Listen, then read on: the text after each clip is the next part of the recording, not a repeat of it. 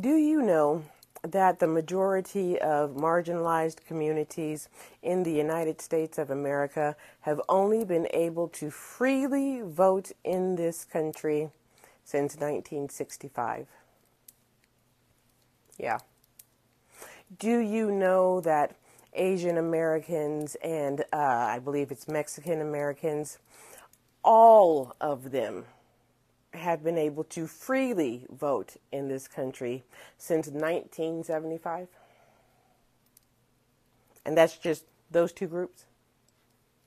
I know this because I've been doing extensive research. So, 1965 is, uh, what is it, seven years? Eight years before I was born. Eight years before I was born, and it was 59 years ago. 1975 is three years after I was born, and it was 49 years ago.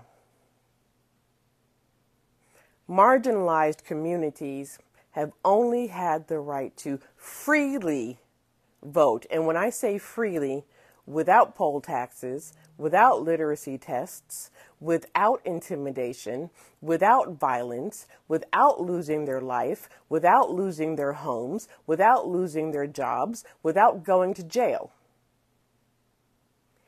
In my lifetime. Did you know that? Yeah. You didn't know that. Or maybe you didn't understand. Maybe you didn't realize.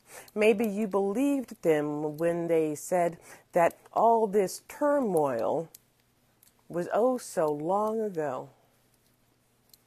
It wasn't.